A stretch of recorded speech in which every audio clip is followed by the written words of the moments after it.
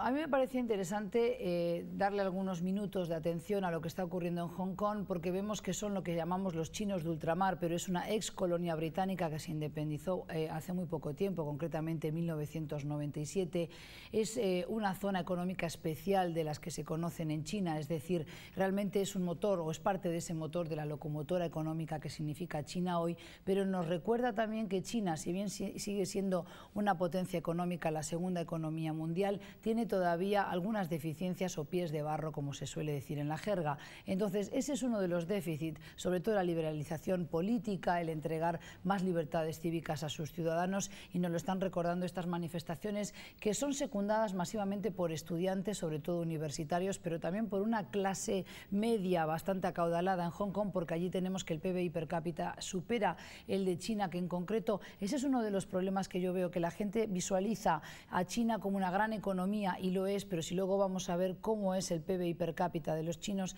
ronda los 5.700 euros, mientras que, por ejemplo, el PBI de Uruguay estamos entre los 15.000 y los 16.000 dólares, per cápita me refiero. Entonces, es importante tener en cuenta que hay eh, debilidades dentro de la economía china, pero también a nivel de eh, políticas sociales que hay que seguir, esa liberalización que implica que hay que ceder también soberanía al pueblo, sobre todo darle otro tipo de esperanzas de, de democracia real, y esto tiene que ver también con un movimiento que supera la propia China, que es el movimiento de los indignados a nivel mundial, que ya lo hemos comentado en otras ocasiones. Los ciudadanos, la sociedad civil, ya sea en Hong Kong, ya sea en Wall Street o también en España, lo que reivindican es que quieren democracia real, tangible, que quieren que sus gobernantes gobiernen para el pueblo y no para una élite, una casta, así sea el Partido Comunista centralizado en Beijing, por ejemplo, pero nos recuerda entonces que esa economía tan pujante tiene algunas fracturas dentro de casa que tiene que ir subsanando lo más rápidamente posible. Sí, además los hechos que están ocurriendo en Hong Kong hace acordar a lo que pasó en la plaza de Tiananmen, en la propia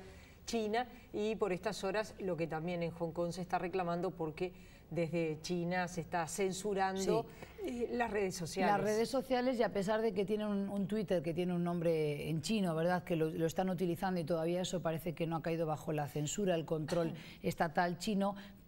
próximamente veremos que en las próximas horas eso seguramente se va a dar. Ahora, ¿por qué censuran? Pues porque realmente en China no están acostumbrados justamente a este tipo de alzamientos, no los toleran, no los saben llevar adelante, como nos recordó el capítulo de Tiananmen, pero es por eso también que, por ejemplo, al calor de lo que fueron las revueltas árabes, las palabras jazmín o, por ejemplo, la revuelta de los cedros, todo lo que remitiera a una revuelta en países árabes, en el Líbano o, por ejemplo, en Túnez, era rápidamente bloqueado en Internet para que las personas no pudieran acceder a esa información y de alguna manera contaminarse o contagiarse. Eh, quiere decir entonces que desde Hong Kong tanto a las autoridades locales